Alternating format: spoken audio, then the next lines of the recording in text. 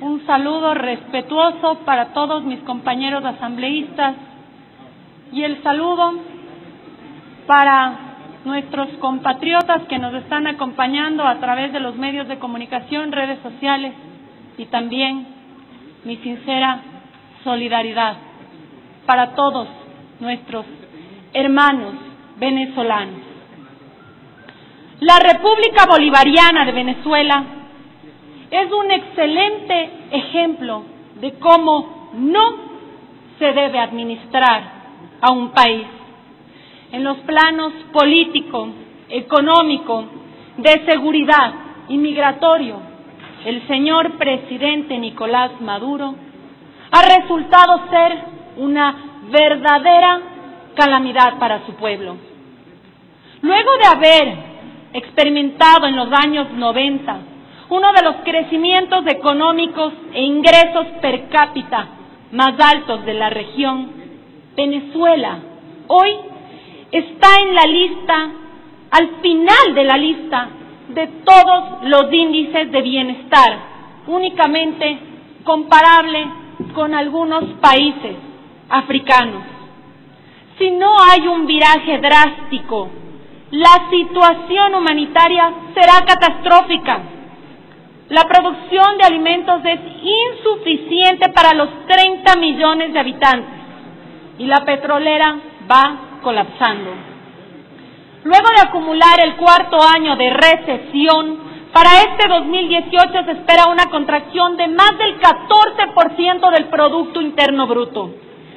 Esta crisis hace que diariamente 35 mil hermanos venezolanos abandonen por diversos medios el paraíso que les dejó Hugo Chávez y que hoy administra Nicolás Maduro. Y lo hacen madres, padres, niños, ancianos, arriesgando sus vidas para salvarse de la miseria de este paraíso. Sin embargo, mientras miles de madres ponen en riesgo sus vidas en las calles por un poco de harina, 100 funcionarios del chavismo son investigados por desviar a paraísos fiscales alrededor de, escúchese bien, 800 mil millones de dólares. Estos recursos financian desde actividades supuestamente lícitas hasta tráfico de armas, drogas, asesinatos a sueldo, etcétera.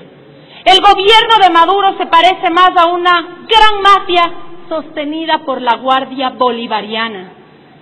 En este escenario, la voz de la comunidad internacional se ha levantado en contra de las violaciones de los derechos humanos y la dantesca corrupción vinculada a actividades narcodelictivas. El Grupo de Lima hizo pública su condena a las elecciones anticipadas de Venezuela. El Congreso peruano analiza declarar persona no grata a Nicolás Maduro. La Unión Europea incluso impuso medidas restrictivas a siete funcionarios acusados de enriquecimiento ilícito y violación a los derechos humanos. El presidente peruano declaró persona no grata la presencia de Maduro en la cumbre de las Américas. No fue invitado a la posesión del presidente Sebastián Piñera. Por eso solicito a todos nuestros compañeros asambleístas que el día de hoy nos solidaricemos con nuestros hermanos venezolanos. Recordemos cuando como ecuatorianos tuvimos que salir del país. No podemos ser indolentes ante esta crisis humanitaria, sanitaria, de salud.